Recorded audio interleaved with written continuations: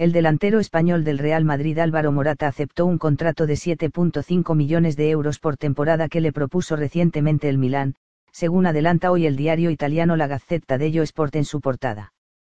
El director deportivo del Milán, Massimiliano Mirabelli, viajó en los últimos días a España y convenció a Morata para ser el delantero titular del club milanés en la próxima temporada, a la espera de llegar a un acuerdo con el Real Madrid, asegura el medio citado. Tras conseguir el visto bueno de Morata, el Milán se prepara para abrir las negociaciones con el club blanco y está dispuesto a llegar hasta una oferta de 60 millones de euros para hacerse con el internacional español. El club milanés planea vender al colombiano Carlos Vacca, que perdió la confianza del técnico Vincenzo Umaantela, y está dispuesto a gastar una gran cantidad de dinero para hacerse con un delantero que ya conoce la liga italiana, al haber estado dos años en el Juventus.